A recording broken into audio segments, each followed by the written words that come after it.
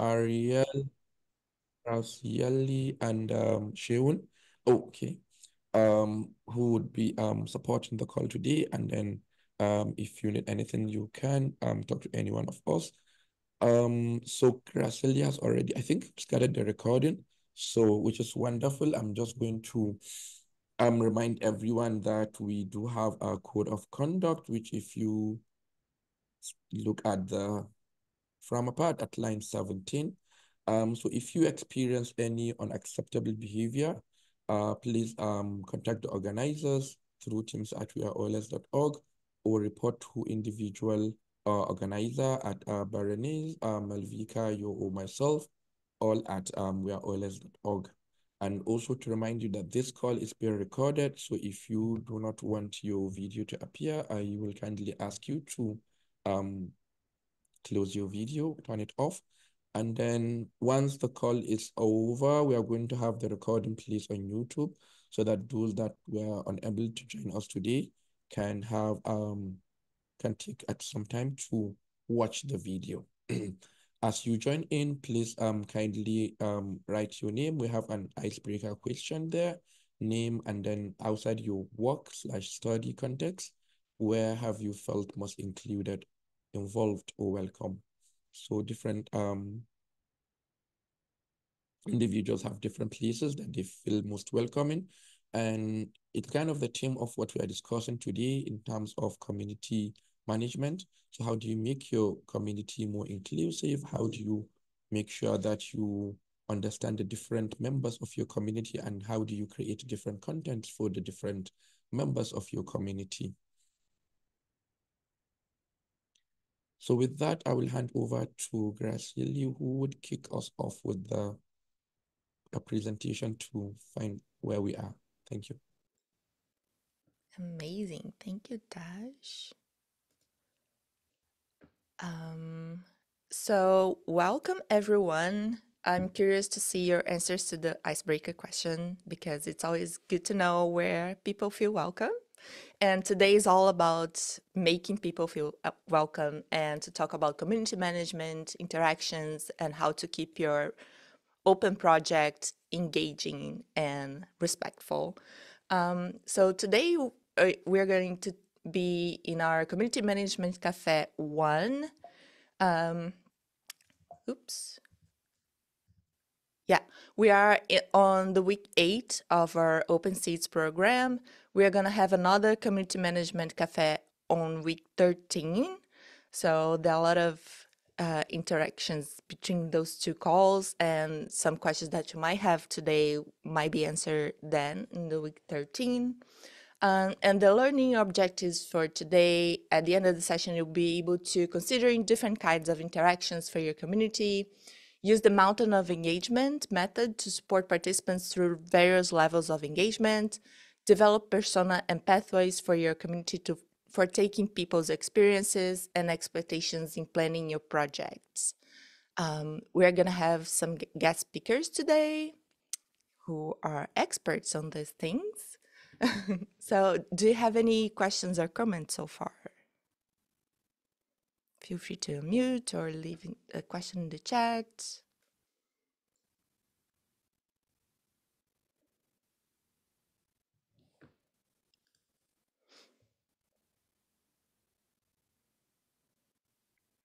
Mm, no?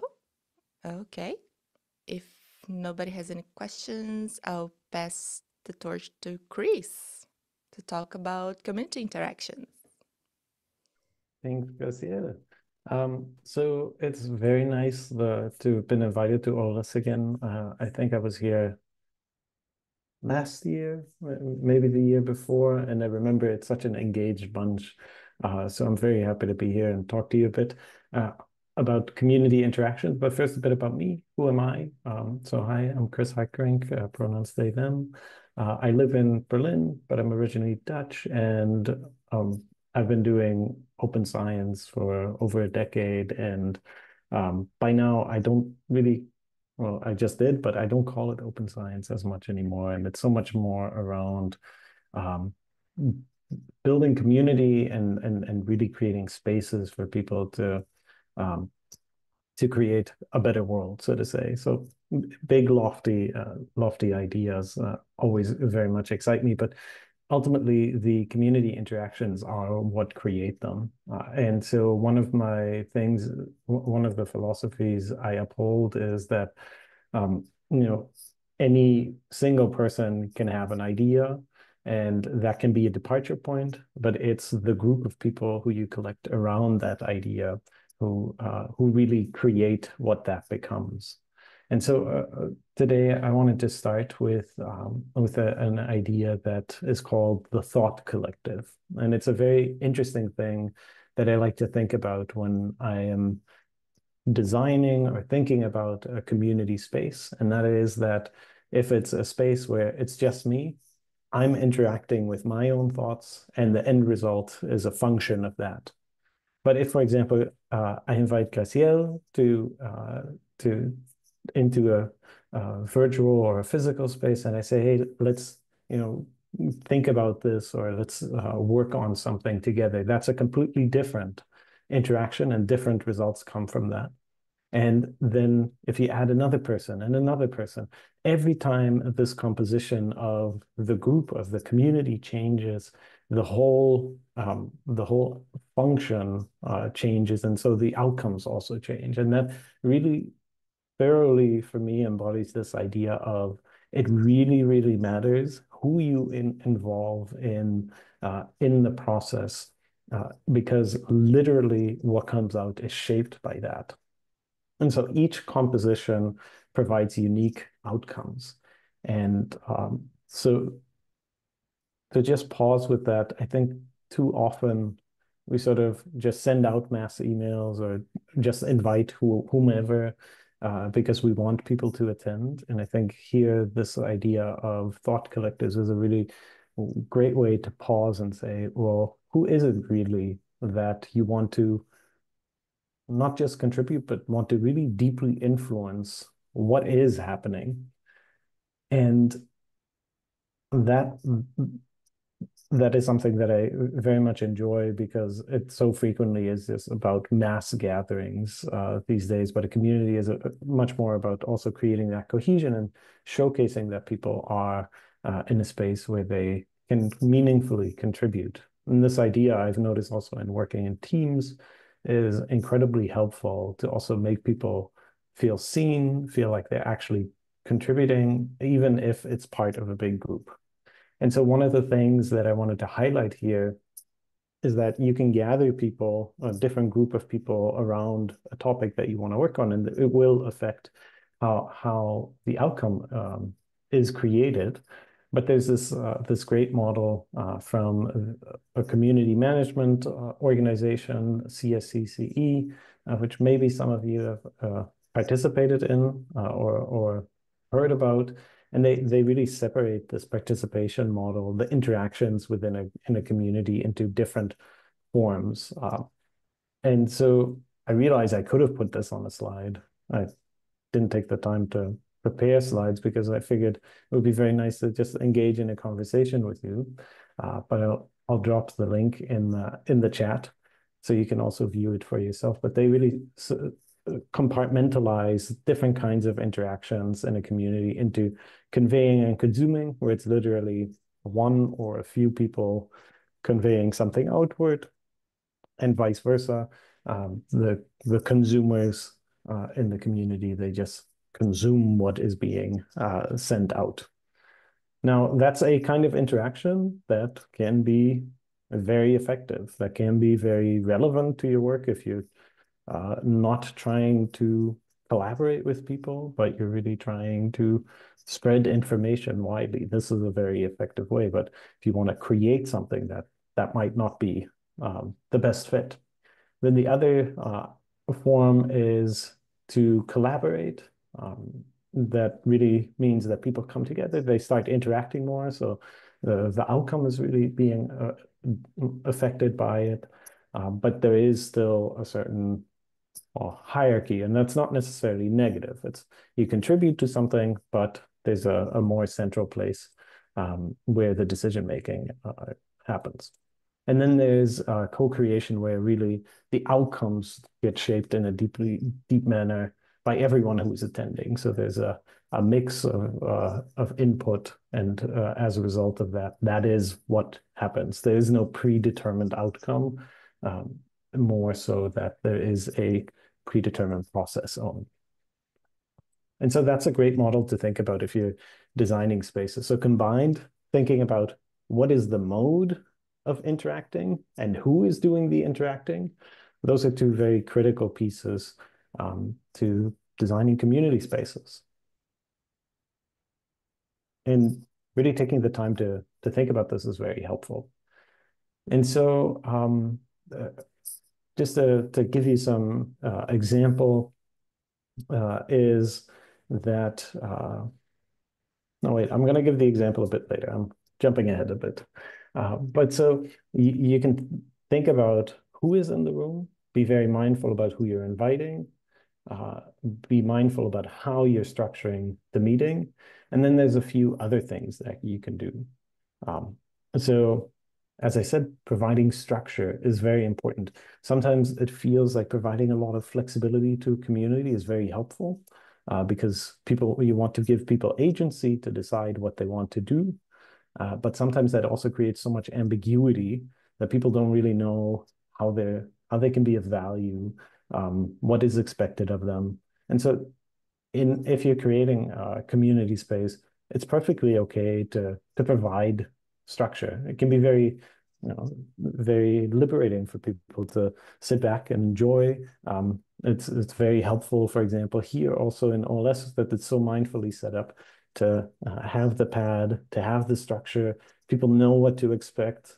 Um, it helps them to to participate in a meaningful manner the timeline of the meeting is very helpful for the speakers who come in uh, and, and go again. So really providing structure is very, very helpful to provide good interactions uh, because people know what to expect. And indeed, as Gracielle mentions in the chat, providing structure is fundamental to providing flexibility in other levels. And so I'm going to tag into that a bit uh, because there's one form of structure that we, I know I very quickly tend to tended to avoid, but not so much anymore. Um, and that's thinking about what do I want to get from from this session or from this gathering. And so uh, one of the facilitators who's mentored me over the years has given me this great uh, great tip and says they, they call it constructive selfishness. It's to say, what do you want to get out of this? You, you don't need to even tell others, but to articulate that for yourself so you can clearly say, okay, this is why I'm doing it, to find that purpose. And then to also be able to keep people on topic, um, to be able to say, hey, if you can articulate what it is that you're trying to get from from from this session and to say well this is how you can meaningfully contribute to what i'm doing uh, to what we are trying to achieve. And so you can really be, uh, you know, selfishness on its own, I don't think is the best idea, but constructively selfish is saying, I'm trying to help us achieve X, then people can meaningfully contribute towards that. And uh, so uh, in terms of community interactions, that's that's not, paradoxically enough, it's very good to focus on what you're trying to get out of it.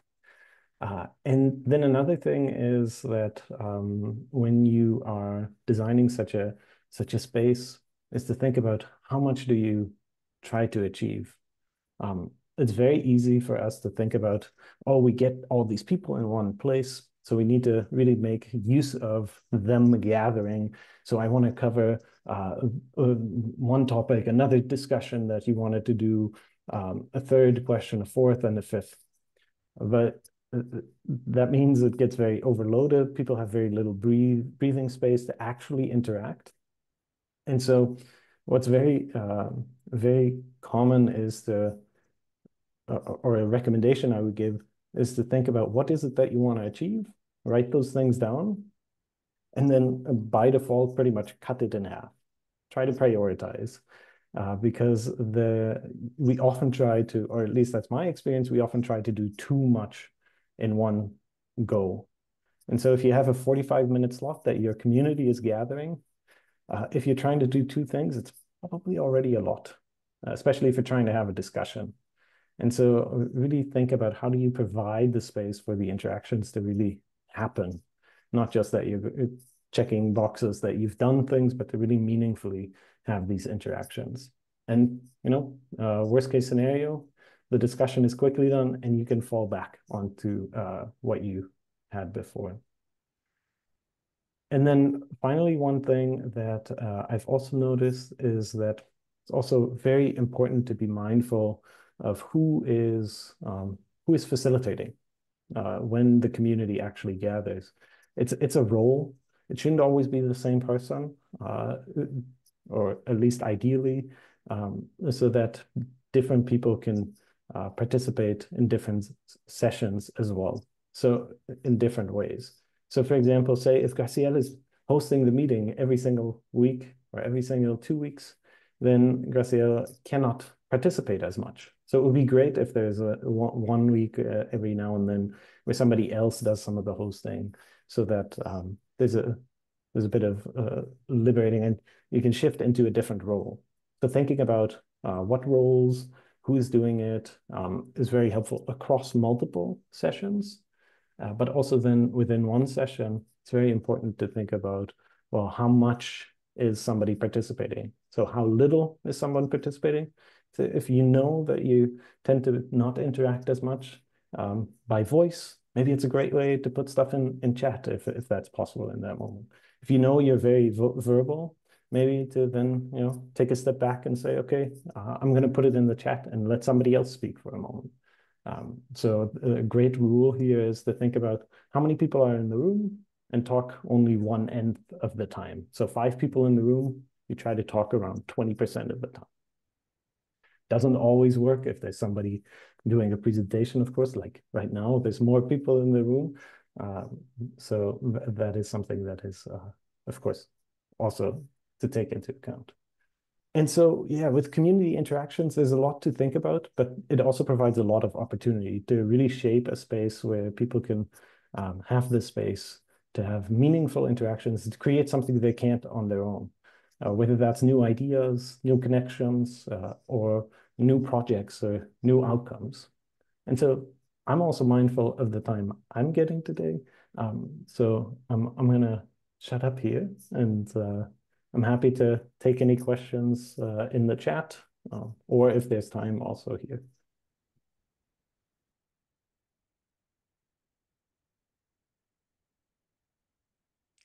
Thank you, Chris. I was taking notes, finishing taking notes. Um, yeah, so if anyone has questions, feel free to unmute yourself or to uh, write a question in the chat or even in the pad. We have a space there for questions. Um, I will start talking if you don't talk. that was really interesting, Chris. Um, I really like the every point that you mentioned here, like the constructed self selfishness. And thank you, Ariel, for taking notes about those things. You're great at taking notes. um, and the thing of providing structure, I was just finishing a note here on how an example of how we provide structure here in this call and flexibility for people to go into breakout rooms speaking or writing in the language of the preference, but this is done under a structure that we thought about beforehand um, yeah, so if people have questions, um, have you thought about the structure for your community already in your project?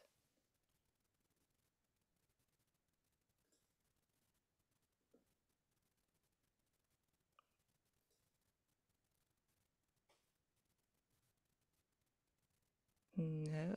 Okay. Hello. Is a question? question? Yeah. It's me, Alfredo from Argentina. Thank you, Chris, for for the presentation and for the, the words. I I was thinking in in this point that it is very important to let people uh, expect what the interaction should accomplish or uh, at least uh, in order to make the interaction between inside the community to be to be useful we should be very clear in how what to expect So when you're like brainstorming or generating new ideas, how how how do you think it is possible to define or to more or less delimit what to expect? Uh, mostly, I think that the, the main thing when when having interactions in in the community, we need to have the feeling that we have been like productive in terms of arriving to a, a point, uh, and that the, the time was not wasted. So how how do you think we, we can set the, the expectations in, in beforehand of the meeting on how to uh, what to expect from the meeting? Thank you. You're muted, Chris. Sorry.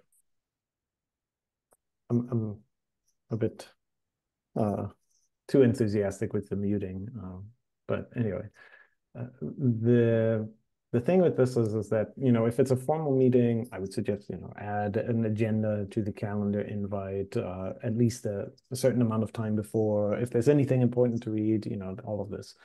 Um, and so that is one way to go. Uh, I think in that sense, if you, for example, doing a brainstorm, the example you gave is also to have a, one, a clear question around what is uh, the brainstorm about but to also indeed um, provide some expectation management around, okay, what is it that um, you will be doing? Uh, what is it that you should not be doing? You know, if, if I, I just led a brainstorm earlier today, so that's that's a perfect fit. I also said it's it's not about curating ideas just yet. It's literally just trying to dump as much um, uh, ideas as you can on there, and then also saying what will be done with it. And so I also said, you know, I will take the responsibility to then go through this and provide you with some um, some insights from that. But everything that, that you produce will uh, be available to you to also uh, digest on your own. So in that sense, um, it's good to indicate what will be done with with this session. Uh, what is the purpose of it?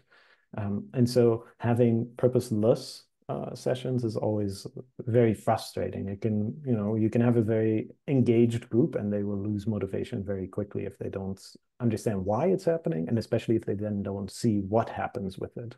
So you can do, um, you can leave out the sharing the purpose if it becomes very clear after, but you can uh, you you cannot really um, leave out both. So in that sense, it's very important to set the stage and to articulate what it is that might seem super obvious to you as the person organizing, because somebody might not have read the email.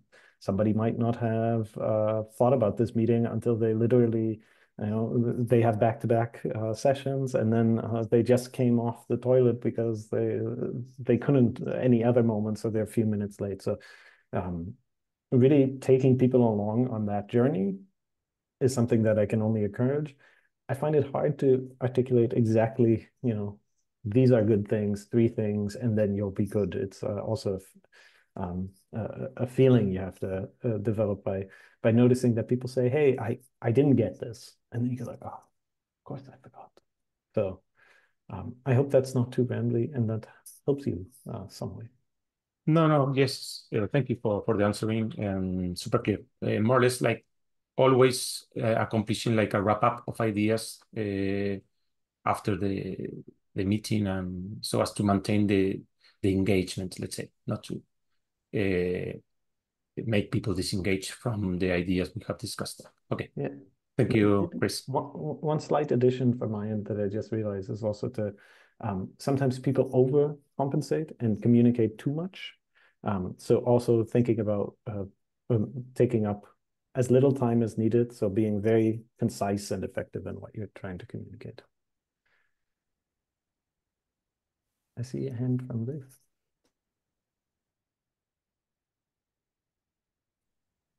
Yeah, hi, can you hear me?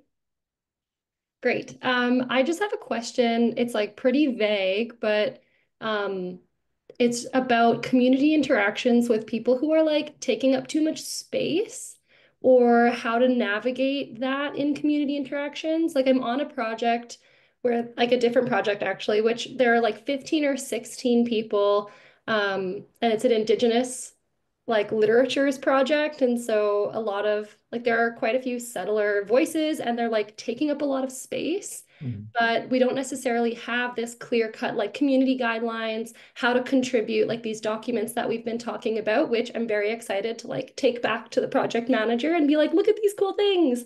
Um, but what do you do when things get out of hand and say you're like not in a position where like really you have very much power like it's very collaborative and like things have kind of gone to the like beyond collaborative and more like co-creating? And then how do you rein it in when people are like taking up too much space or not acting within the guidelines? And yeah what do you do? So if it's on a zoom session what has been super oddly effect effective i didn't do it for quite a while. Um, it, it took me a very long time to discover but literally just using the raise hand feature is sometimes super helpful. People will shut up so quickly um, for some reason, uh, or they won't shut up at all. So that's a, a very concrete thing you can do. Um, but then also what I like to do is reframe the issue as in, am I being fr from, am I being rude to interject now to thinking about, well, I'm probably not the only person who's a bit frustrated with this right now. So um, how is my behavior not, if, if I try to sort of um, not stop the person, but to contain this. Um, how am I helping other people as well? And so that uh, helps me get over my nerves sometimes. And then, uh, so that is one way to, to, to at least facilitate my, my own feelings to, to actually do it. Um, and sometimes uh, uh, what really helps is to back channel with someone and checking in and saying, hey, um, like you don't have to write a lot, but oh, they just keep talking and then they go like yeah and then that can sometimes be just the the slight encouragement for you or for them to to interject because there's some social validation happening. Uh, so it's not just you. Um, but yeah it's hard. And uh, sometimes it needs to be very directly addressed and um, and say okay well we, we have to move on or we need to go back on topic. Um, if we want to keep talking about this there's we have to create another space for that um, but yeah, that's not a vague question at all and happens a lot. Uh, your specific setting sounds uh, very relevant and it sounds like it, it could be very salient also to actually bring some of these points up. So I hope you find a way to deal with that situation. Thank you. Yeah, that's helpful. Um, sorry, just to clarify, like, do you think these kinds of documents, um, like community guidelines and I guess what happens if you don't follow the community guidelines can be implemented afterwards. Um, and whether you've seen that done successfully, I used to be a teacher, and so I know that if you let the students run free for a week, it's really hard to rein them back in. And I think adults are more like kids than they than they suspect. So, I mean, it's really been hard for us to rein things back in, and our meetings are kind of always like hours longer than they should be. Um, so I don't know. Do you have any tips about implementing those afterwards? I, I would probably say don't implement them as uh, rules because then they feel like, oh, why are we changing things? But say, hey, we want to try something different today. Um, we'll do uh, this. And that will then change the dynamic for once. And it, so thinking about getting started in that direction where you want to go to to sort of shift the dynamic. And then sometimes people will be like oh that was so nice to have this different dynamic. And then they will want to stick with it and they might start maintaining that norm themselves. Um, and otherwise you could say okay well we tried this last week. Uh, we want to keep doing this. Right. Okay thank you.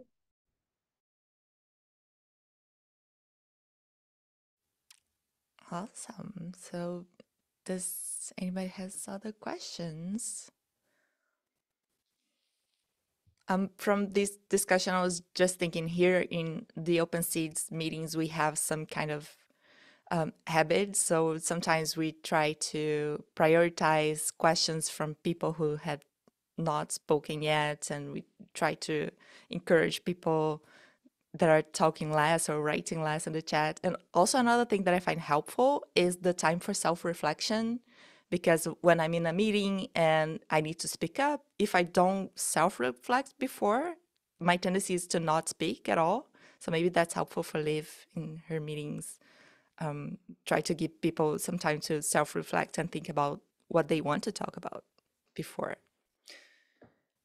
Okay, if we don't have any other questions or comments, I will thank you, Chris, very, very much. That was super, super interesting and engaging. well, thank you for uh, having me. I'll, I'll stick around for, for Kirstie's mountain of engagement. I'm very interested. We all will.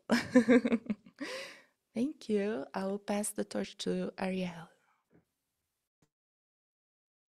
Hi, folks. Um, Thank you very much for joining us in the second part of the call. Uh, we're now moving on to uh, our second presentation, which is uh, Kirstie Whitaker on the Mountain of Engagement. Kirstie, the floor is yours.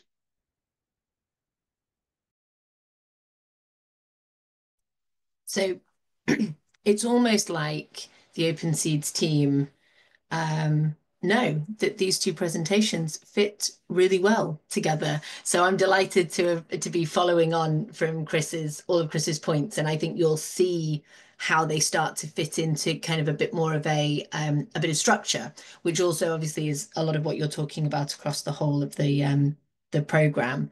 So um, I just want to acknowledge that I um, looked through Chad Sansing's um, slides from a previous cohort of Open Seeds, and basically they're excellent.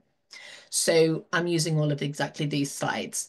He licensed them as CC BY, so I am not apologizing for using them. They are licensed for this exact purpose. I was able to do other really fantastic, positive, uh, impactful work uh, because I did not have to reinvent the wheel and I have used uh, Chad's slides. So these are Chad's slides. I'm delighted to be presenting them. Here's uh, me, and more excitingly, here's a picture of me. It looks exactly the same as what I'm wearing now, which I didn't realize. I didn't realize. Um, that's me from a few months ago and my daughter, uh, her name is Mackenzie. We were up in the Lake District, uh, which is in the northeast of northwest, sorry, of England, um, where my mum lives. So I think this was taken at Easter time. Um, I live in London at the moment, and um, I founded a project called the Turing Way, and it was uh, it all sort of stemmed from a fellowship that I had with Mozilla as an open science fellow.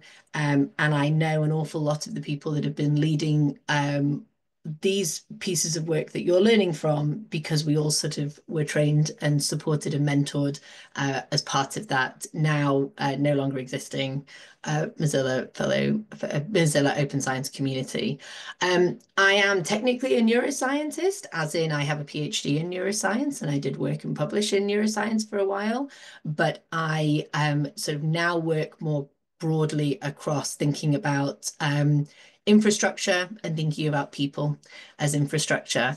Um, I have not put my current affiliation on here because I actually just a week ago, well, like three days ago, technically, left my job um, at the Alan Turing Institute. I led a really exceptional team of people uh, focusing on open source tools, practices, and systems at the Alan Turing Institute. And I am on um, annual leave for a couple of months. And then 2025 will open up new and exciting open source adventures. Um, so Chad starts by asking, what is inclusive leadership? And essentially, iterating is sort of one of the most key parts of inclusive leadership. So you want to, if you're going to lead a, an open source project or an open science project, you're going to think about inviting people in to your project. You should have clear processes for how you onboard them at some point, once they have been onboarded, once they've sort of gone through enough steps to feel that they've got their feet on the ground, you want to empower them. I would encourage you not to empower people too early. That's actually giving them too much space and it's really destabilizing. But at some point, they'll have their feet on the ground and you can give them tasks, small tasks, growing to slightly bigger ones. You should always be checking in on members with members of your community and reviewing to see whether things are going well or not. And you should spend time recognizing the people in the community. So celebrating their contributions, big, small, um, particularly the ones in the background, particularly the ones that are that are care work, that take, you know, the people who take notes, the people who um, follow up. The visible contributions, you know, yes, give them a little sort of thumbs up, but really take the time as an inclusive leader to recognize the work that is going on in the background. So to build on one of Chris's points, the the time it takes to write a short email is much, much more than the time it takes to just ping out a whole bunch of unstructured text. And so thinking about the expertise that's associated with that and recognizing and appreciating that is a really good little sort of small example of then going around this circle again. So you will then um, reflect and renew your commitment to inclusive leadership. You might invite the next people in you'll onboard them, you'll empower them, and you'll keep moving everyone around and adjusting the roles appropriately. Now, I've added in this slide because I think this is a sort of a huge uh, passion point of mine. I'm not sure that people know what leadership is. And what is great is that the project that I uh, founded and that a thousand people have contributed to now has a chapter on leadership, on inclusive leadership. So I encourage you to go check it out and see how it resonates with you. But my point for adding this slide in is you're here and you are leaders and you may not feel like a leader, but actually almost no one does feel like a leader on a day-to-day basis. Um, and so thinking about kind of both the fact that you are a leader and the fact that you are hoping to encourage others to be leaders is an important step in making sure that you provide that amount of engagement and you bring people in and you empower them. I've got this quote. I took it from the chapter um, on leadership that's in the Turing Way. It's a quote from Brene Brown.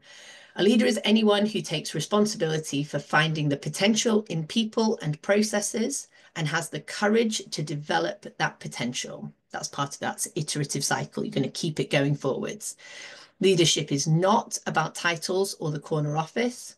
It's about the willingness to step up, put yourself out there, and lean into courage. And to be clear, there are power dynamics that are at play and they absolutely interact with leadership. But I encourage you to keep remembering that power is different to leadership and vision.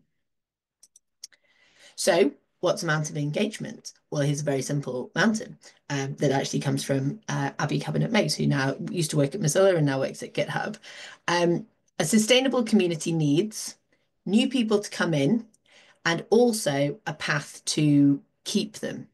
And they don't, you don't have to keep them. You don't want to sort of over metricize this, but you, you will not sustain a community by only having people join as newcomers.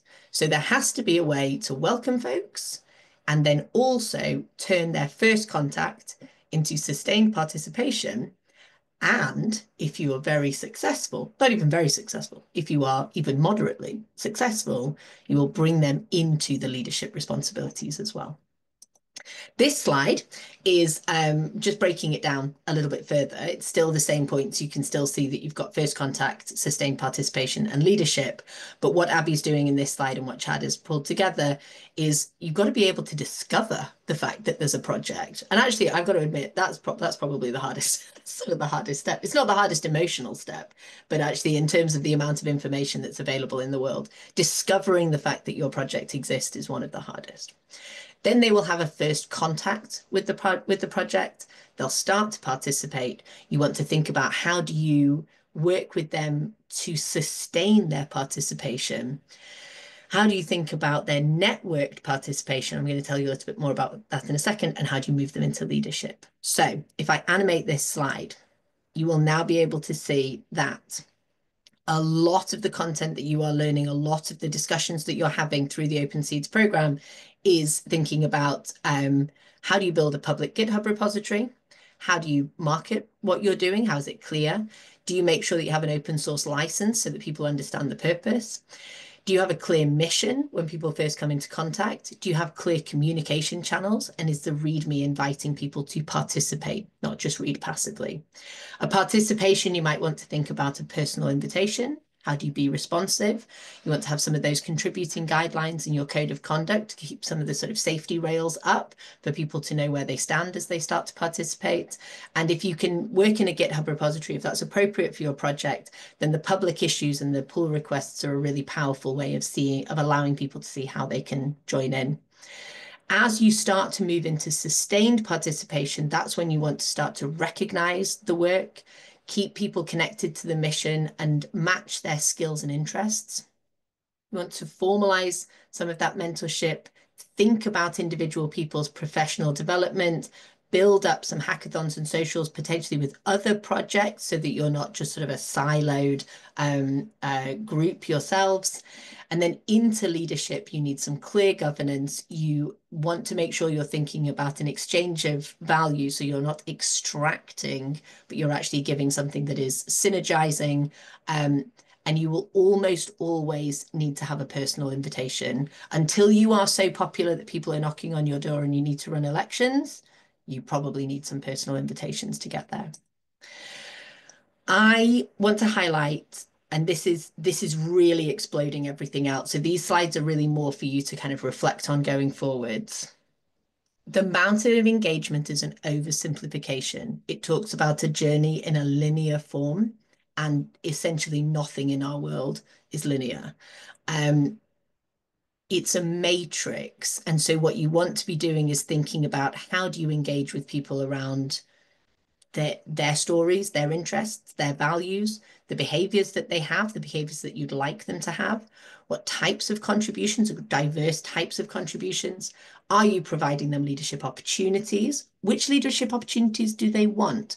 Are you providing them learning opportunities? Which learning opportunities do they want? Same with professional development opportunities, user research opportunities.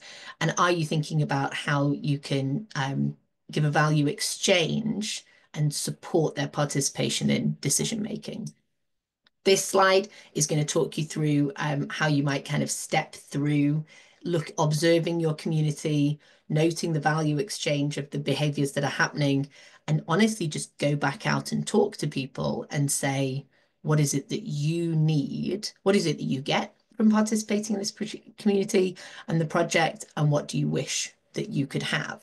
because you may find that it's very easy to give that. You just didn't know that that was something that they would they would consider to be of value. The final thoughts are remember to be driven by the value and your values. So what's the unique selling point of the work? Why are you why are you here? Why why not be part of another community or another project, for example? And remember your values and your ethics of care. Think about uh, how your interactions change as the community scales and at the different levels. So this really great concept of returners and multipliers. So a returner is someone who may touch and then go away for a bit and then come back and they can be extremely, extremely powerful if you sort of don't get, if you don't get too upset that they've gone for a little bit because they can they can really sort of energize the community um, and build very powerful connections. And then multipliers are people who enable others, who really make other people um, sort of see their potential and and um, participate. So they are they're great people to kind of keep an eye on. Be open and transparent as possible and also be mindful of the data that you collect. So, so walk that fine line between being like having ethical uses of data, but also being as open and transparent to encourage participation. Share what you learn. Be as brave as you can be in sharing what doesn't work. That will actually be a really great foundation for building trust. And then, as in the very first slide, iterate. Hypothesize, give it a test. If it doesn't work, revise, release, and keep going around. So my last slide, sorry, I went a bit over time. I have this really, really important message to you, which is that you are already leaders and your community members are already leaders. They are there because they want to participate in this. So don't overthink the concept of leadership. Focus more on those exchanges, those interactions that Chris was talking about, and think think more sort of holistically about empowering people but giving them a structure that allows them to um, keep their feet on solid ground and know know where they're going and how they're going with the rest of the community. So huge thanks again to Chad, and you've got my contact details on there if you want to get in touch. Thank you so much, Kirstie. That was uh, really, really amazing. And yeah, again, a big shout out to Chad for doing the original set of slides. Thank you. Um, I don't see any hands up at the moment. Does anyone have any questions for Kirstie? Uh, can I ask a question, please? Yes, please go for it. Yeah, thank you, Kirstie, for the presentation. It was great. Uh, my name is Elham, and uh, I had some questions regarding your profession in neuroscience. Uh, I think that because the works that you have done, uh, it's it's uh, it's uh, so experimental. I think that you had the experience of leading people from neurodiverse groups. Uh, I want to know that how could you manage your how how could you uh, adapt your expectations? Because for example when you are working with people from um, different minorities you some of your some things are better than from the things you expect before and some things are worse than you expect before. How could you manage your plans? How could you manage your expectations? And how could you um, manage the community motivation and engagement to reach to the defined goals and achievements. So I want to acknowledge that I do have some experience working with neurodivergent people, but it's not from my time working as a neuroscientist. I actually have uh, an opportunity to work particularly with autistic people um, on a citizen science project. So I just want to acknowledge that actually very few neuroscientists properly actually ask uh, neurodivergent people about what they what their needs are. Uh, so I do have that expertise, but not because of the fact that I sat and looked at brain imaging scans for days and days and months on end. Um, it sounds like it sounds really trite to say, but I think it is the right answer is to um, remember that everyone's different. It's not really about being neurodivergent. It's about the fact that everyone's going to be coming with their own different set of interests, motivations, background expertise, skills. Uh, autistic people will often um, really appreciate clarity. So, so you can often get to a point where kind of, uh, if you work with autistic people, there will often be a lot of a lot of questions that relate to to clarity, and and being able to provide that clarity is really helpful. But I got to say, that's true for literally everyone, right? That's true for everyone. Um, people who have ADHD um, will sometimes struggle with kind of uh, time, this concept of time blindness. So they'll struggle to know exactly what they are able to achieve in a certain amount of time. And again, clarity is a really good answer to that because if you break down the tasks and instead of assuming that everyone's uniform, everyone's going to be doing exactly the same tasks and you can just sort of dole them out at the beginning like playing cards, if you create sort of a, you know, a, what I suppose in like a tech field would be like a backlog of tasks that need to be done. Note their dependencies. So you break the task down sort of as small as not, it doesn't literally need to be as small as possible, but in a a very much more sort of achievable kind of state. Link them together and then allow people to pick the ones that meet their interests and allow them to work on kind of one thing at a time. And you may find that you're able to sort of play to people's strengths much more that way. Um, I think it's really important if you do take that, that you don't um, patronize anyone.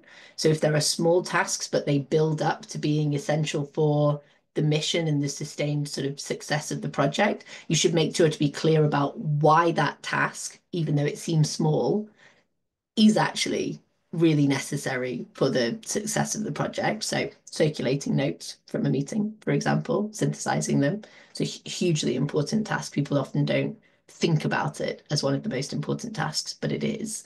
Um, and I think sort of allowing people to therefore work on something until it's done just diversifies their participation a little bit more. And I do want to be really clear that that's inspired by my experiences working with people who are autistic and have ADHD, but actually the advice works sort of almost perfectly for everyone. Yeah, thank you listening to your presentation and talking to was so inspirational for me and for my project. Thank you. Wonderful. Uh, any other questions or comments from folks? I do see uh, Laura in the chat has mentioned uh, that they're struggling to engage sustained participation, and Gracielle has agreed that that's probably the hardest part of an open project. And Kirstie, I don't know if you want to comment on the sustained participation in particular, if you can share some of your experiences there. So I'm super happy to answer that, which is it is definitely the hardest part. And it's also, it's sort of logistically the hardest part. So if you think logically about it, a sustained engagement requires someone to have already gone through all the other steps. They have to really understand your project. They have to be totally bought in to them, not totally, but let's say they have to be like 85% bought into the mission. So even if you just think like playing a probability game, that person is hard to find, right? And so there will be a lot of people who don't make it all the way up to sustained participation. And I will share with you that I find that very, very difficult emotionally because I want everyone to care about everything the same level that I care about. And um, it is an important reflection to me that diversity in having people and what they care about and how they engage is, in fact, the success metric metric. So one thing is just to like logically recognize that it's really hard. So it's not a failure. It's a like you can lay out the path really well, and there will be fewer people that can walk it just because the, the, the requirements are high. The other thing to say is, um, you know, the world is burning at the moment. So uh, it's we have literal climate change. Um, we have political destability. We have a genocide that's going on um, that's being sort of, you know, televised and and nothing's happening with it. And I think it's very, very important to recognize that if you are asking someone to come and do sustained participation on top of all their other responsibilities in this current context, that is also unbelievably hard. So to try to finish that on a slightly more motivating and positive note, difficult. Um, the the the most useful thing to do is patience is to extend your timeline for what does it mean to be sustained so if your gut is that you want people to be that sustained uh, engagement means they connect at every weekly meeting for example maybe maybe pull that out to thinking how could they sustain every month? Or maybe you've got monthly meetings but maybe you want people to kind of touch base. Maybe maybe you extend that to every quarter. Maybe you think about what is it that this person that these people need as human beings to be able to participate? And that's quite different to what they need to understand the project. They may need time, they may need space, they may need forgiveness, uh, they may need for you to just listen to them talk about whatever it is that they find difficult, uh, whether it's related to the project or not. And they almost certainly need um, welcoming back when they're imperfect. And I think that's that's helpful to recognize that that's true of all of us. Great. Thank you very much, Kirstie. I think we don't think we've quite got, we've got four minutes before we have to move on. I don't think we've got any other questions in the chat, but I know that Kirstie will be around uh, for the rest of the call if people want to uh, add more questions to the notes document or things like that. Um, so thank you very much, Kirstie. Uh, excellent presentation. And yeah, thank you for talking us through all of that and giving such a thoughtful answer to the final question um, as well. I think we quite a few people needed to to hear that today. Um, I'm going to unspotlight you uh, and actually unspotlight myself. Ooh. Um, and we're going to move into um, an actual uh, practical uh, discussion exercise um, for everybody entitled Value Exchanges. Um, so Gracielle is going to be making up uh, breakout rooms based on whether you have indicated that you would like to write, speak, or speak um, and the different uh, languages that you have indicated. There is a summary of the uh, different symbols up at the top of the Framapad on line 25, but I'm going to post them again here. If you have not already renamed yourself, please rename yourself with a, a letter or a short code at the beginning of your name to make it easy uh, to assign you to a breakout room. Um, but we will be assigning you to breakout rooms um, and there will be a space for reflecting on the uh, presentations that we've heard uh, uh, recently from Kirstie and from Chris in particular. Um, I posted the questions in the chat, um, but we'd like you to reflect on what are you giving to your community, organization or project? What is it giving back to the community? And if there are gaps, how might you close them uh, between uh, what you are giving, what the community is giving back, and uh, where you think you'd like to be in terms of that exchange?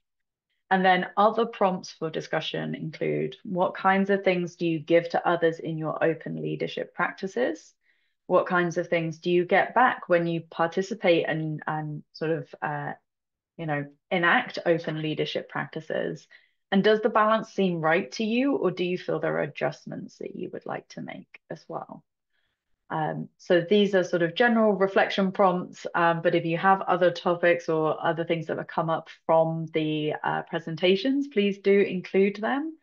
Um, there are also uh, spaces from line 176 in the shared notes document. Uh, I'm just going to reshare that here in case anyone has misplaced it uh, for your breakout room to also add their reflections in there um, as well. I'm going to look at Gracielle and say, have you completed the breakout rooms? Are we ready to go? Wonderful. So you will have uh, approximately 15 minutes to uh, talk through in groups of three. And Gracielle, please uh, open the breakout rooms and we'll head off to our discussions. Rooms are open one coming back? I think everyone's going to trickle back in from their breakout rooms.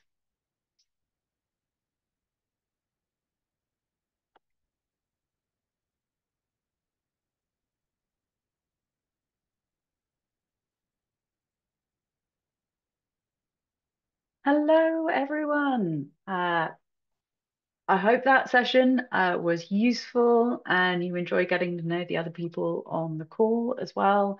Um, if you would like to add any extra reflections to uh, the notes section from line 177, please do. Um, but we're running slightly behind schedule. So in the interest of time, we're going to move straight into personas and pathways. And I'm delighted to present Victory Brown, who is going to um, give us this presentation. Victory, please take it away. Hello. Hi. Hi, everyone. Thanks for having me.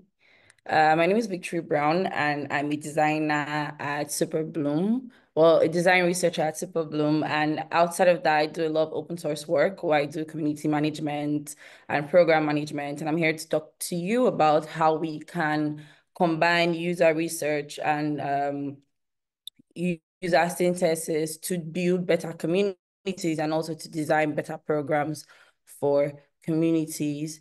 Uh, going to share my screen now. And when you can see that, let me know.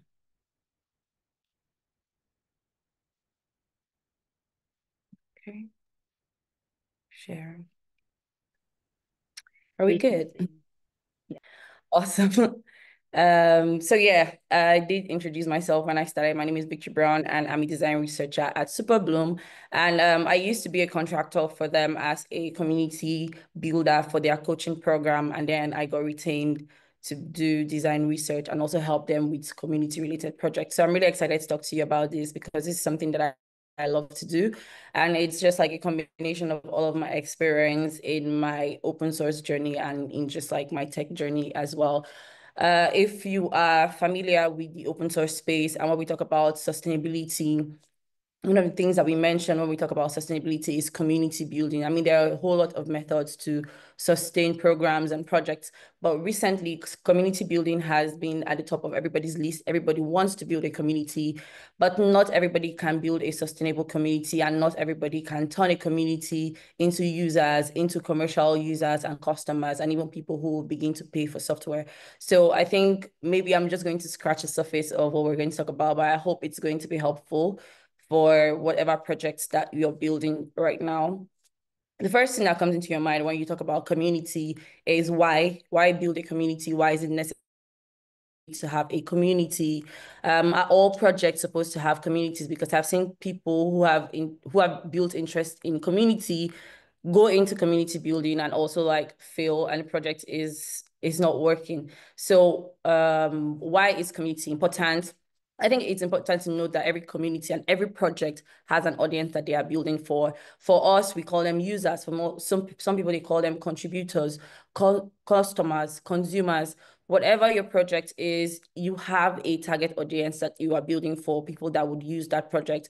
And it is important that you know why you need to build a community for those people, right? Everything, every time when people gather and it's just like two folks talking about the same interest, same goal, some community is formed. But for us to build like sustainability and use what we know about community to like um, build more sustainable tools and design more programs that are inclusive, we need to know why we are doing these things. So um, like any other project, to comment, you need to conduct user research. This is where you begin to understand your users, your customers, the people who will become community members and eventually become contributors to your project.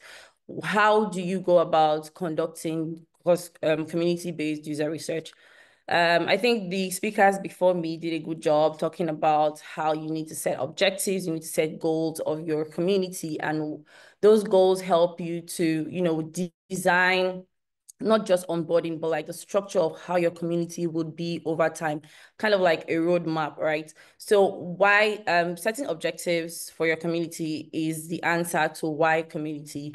If you are a founder or you're building your project and the thought of having a community has been lingering on your mind, I think the first thing to do is grab a sheet of paper and write down what you think a goal would be an objective for you to have this kind of community be have an active community that's probably built on slack built virtually somewhere or like have physical meetups right? So you set the objective set your goals the next thing is you identify your current user base. A lot of times when projects want to start thinking about community, they forfeit um, the present users and they begin to look for new customers outside. They begin to do more marketing.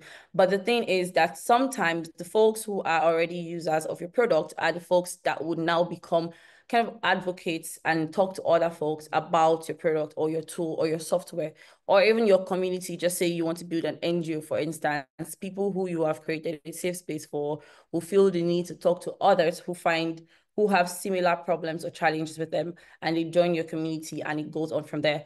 The thing, like I said, you identify your current user base. Who are the people that are in my network? Who are the people who are currently using what I'm building? Who are the contributors that we have? How many active contributors are there? What, what is the reason they are still here? What are they currently benefiting from? And to do this, you send out things like surveys. So this is where the user research comes in. You send out um, surveys to your current community, um, asking them questions on how they are currently feeling about the community.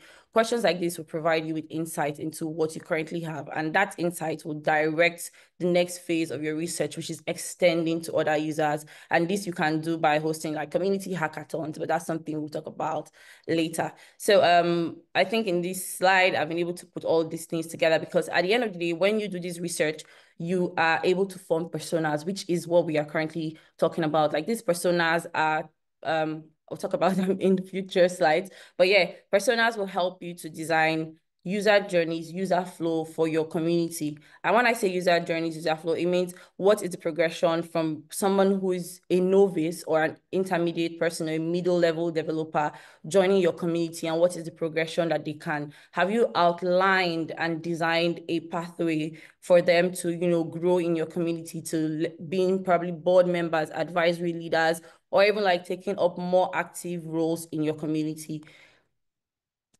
What do personas represent? We've talked about community and why it is important. And now this community is what is fueling personas because personas are people, right? When we do research, they might not necessarily carry all the names of the people we do uh, research for, but they carry their characteristics, which is important. Those characteristics is what makes it important for us to build these tools or build a, a safe community or design programs that are helpful and converting, depending on what kind of need your project has. So like I said, personas are fictional representations of target users, but they capture the real goals, needs, and experiences and behaviors of real life users in your community or in the extended community. So when you do your user research and you send out surveys and you ask people questions about how they currently perceive your tool, perceive the community, they give you feedback. That feedback that they give to you is what you use to develop personas. And that personas is what gives you insight to designing more you know, inclusive experiences, seamless user experiences, or community programs for them. So like I said, with personas, we're provided insights into user groups and they also like create a clear pathway for you. Personas are also very useful tool in communicating to stakeholders. And when I say stakeholders, I don't just mean funders of projects, but also people who are building these tools with you because personas give your team an understanding and also like helps them be more empathetic towards the people that they are building for. So the goal is that we're trying to draw empathy so that we are more considerate of these user needs and then we can design tools that not only benefit us as product owners or like people who want to go into the market and make money, but as people who are empathetic and are user-centered in their dealings, right?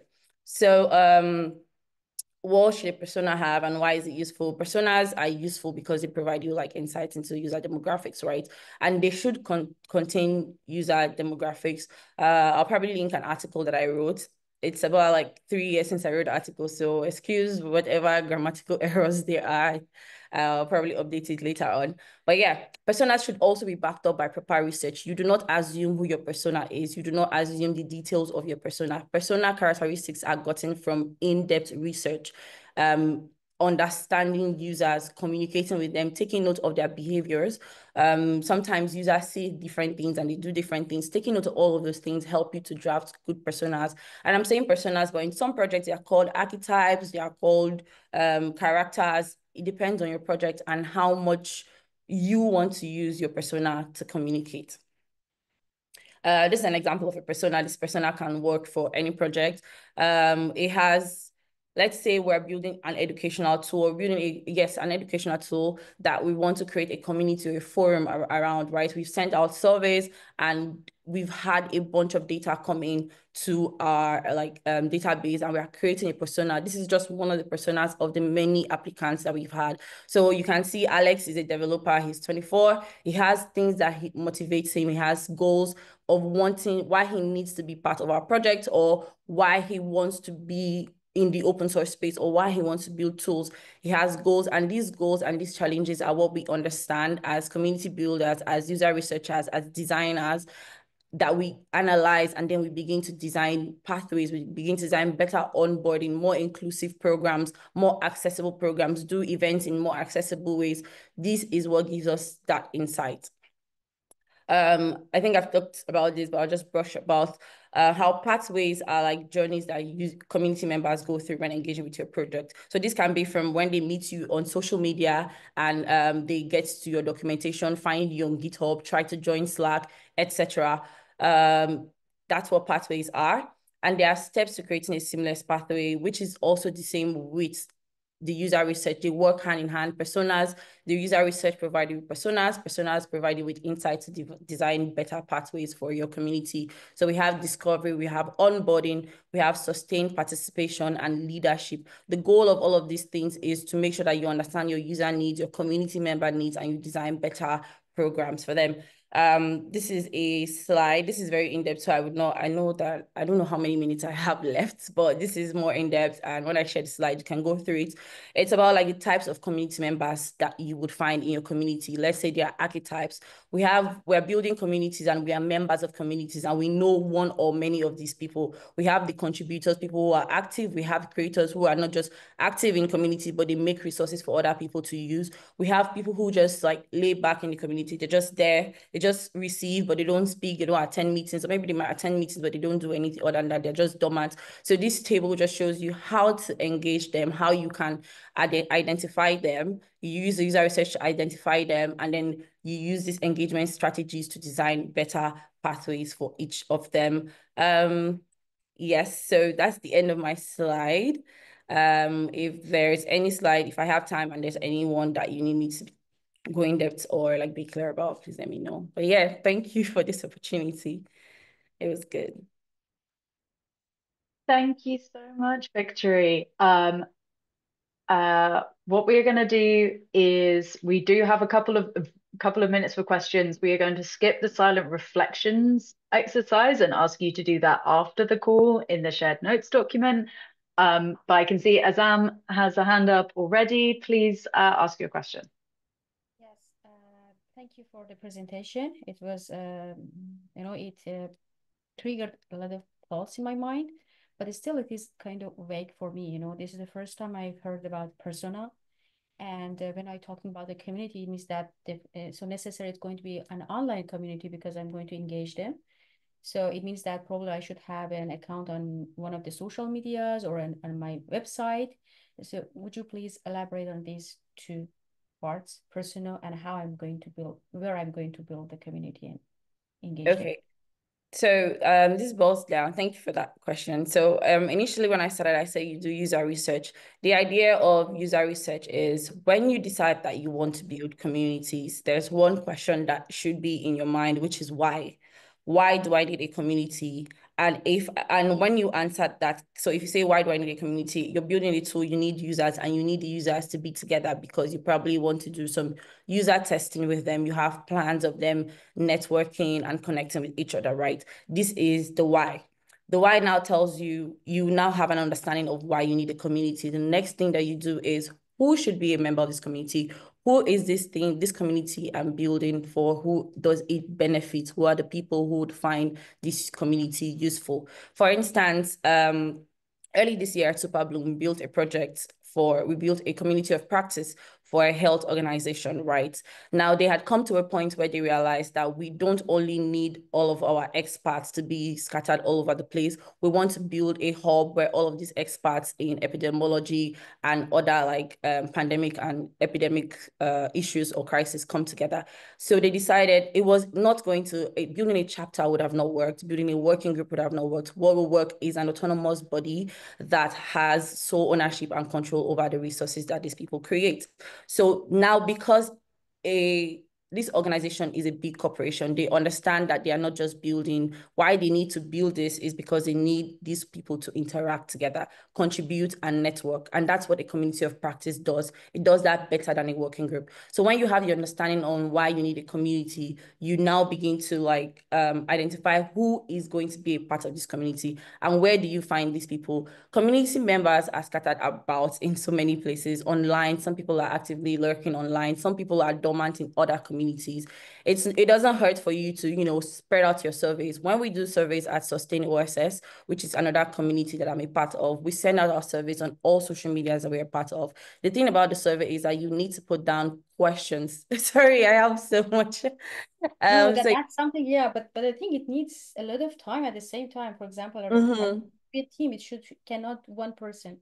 So, for example, a research team should have one person responsible for uh, you know, uh, you know posting the uh, contents, so engaged people, and the other team should be responsible for So what happens when most times you are the sole um, leader, you alone are just like building your tool, but you need hands because that's what happens a lot in open source. We see someone who has an idea and they begin to be, write code for the product, but then um, it's a lot for one person. So what they do is they be a part of something. They either be a part of Hacktoberfest and have more open issues so that new contributors can contribute. And in that way, they have more people interacting with GitHub. And from there, who knows, they begin to decide, okay, we want to have all of these contributors who are dropping issues in um in issues in GitHub. We want to have them somewhere. We want to have them maybe on Slack or in Discord because we want to have them together. Now they have built, helped us to build this tool. We want to have people who would also be a part of the testing phase. So it's better to not lose these contributors. Let's have them somewhere. So as a product owner, what I'll do is I'll send out surveys uh, still on GitHub on software and I'll ask what platform would you, if you want to join a community, what platforms are most easier accessible to you? So people begin to give their feedback like Slack, Discord, Telegram, and I decide, okay, more people are comfortable using this tool. Let's start building a community here on Telegram.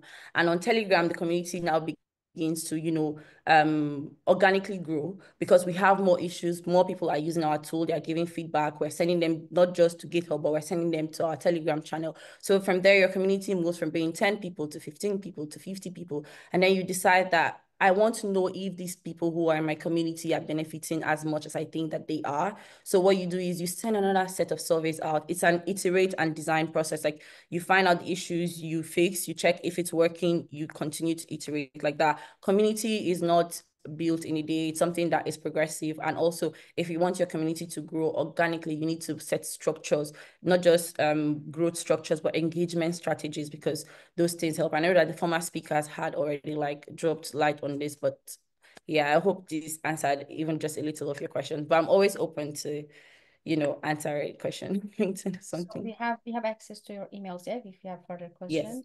or on a Slack. Yes. Thank you. You're Great. Welcome. Thanks very much, Victory. I think that's all we have time for today because we are five minutes over time. So I'm just going to hand over to Taj to close the call. Uh, thank you, everyone.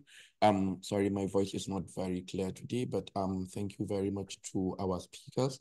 The conversation has been really interesting for everyone, and I think um, it has created some thoughts in the um for different projects, which is part of the aim of um, this um, um, presentations.